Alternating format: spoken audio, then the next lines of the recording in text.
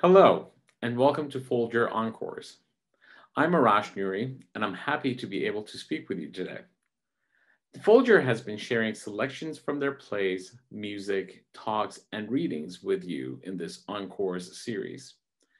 This week, we're excited to bring you a selection from Tastes of the Mediterranean, a series of concerts performed by Folger Consort in April 2019. In this concert, I joined as part of guest ensemble Piffaro, the Renaissance band, and I played both lute and baroque guitar. From that concert, I'd like to introduce two pieces by two Spanish composers performed back to back. First, Folias Gallegas by Santiago de Murcia, followed by Canarios by Gaspar Sanz. Both Santiago de Murcia and Gaspar Sanz are influential as early composers for the guitar, and the second piece, Canarios, has become a mainstay of the modern classical guitar repertoire. Both pieces are written in a quick 6-8 time and feature a simple chord progression that repeats throughout. The musical interest is in the wonderful melodic variations and the dance-like rhythms.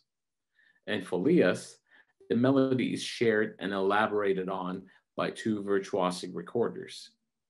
In Canarios, recorders are swapped out for two bagpipes. You'll hear the audience's laughter when the bagpipes get going. And the full band joins in with added percussion, including castanets to help establish the groove. Bagpipes might seem like an unexpected choice, but they were popular in early modern Spain. Santiago de Murcia wrote many gaitas, a form characterized by constant rhythms and drone-like harmonies and imitation of a bagpipe. And you hear influences of this in Folias Gallegas.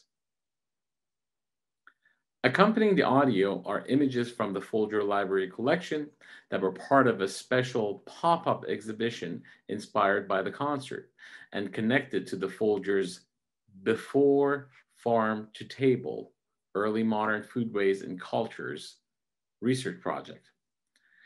Please be sure to join us again for these weekly episodes of Encores, highlighting all that the Folger has to offer.